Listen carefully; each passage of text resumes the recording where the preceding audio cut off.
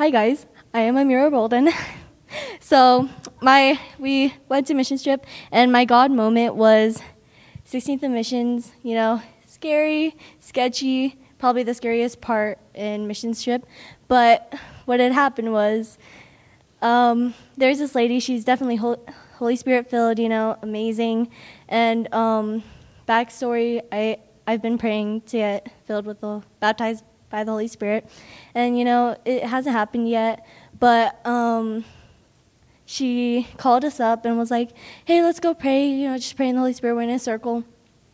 And, you know, I'm just, I'm still praying, you know, and then we break out and we're just like um, doing our own thing. And then she's talking to Mandy, like, I can feel that there's someone in your group that hasn't been filled yet. And Mandy's like, yeah. And um, she goes, is it that lady right there, and she's pointing at me, I guess. And um, she waits apparently for a little bit and is like, call her over. And Dutch is like, Amy, look. And I'm like, oh, she's calling me over.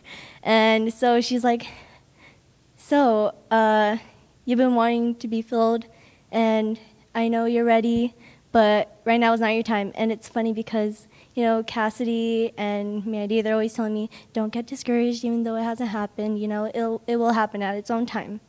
And I'm like, in my head, I'm like, did Mandy tell her stuff? Like, okay.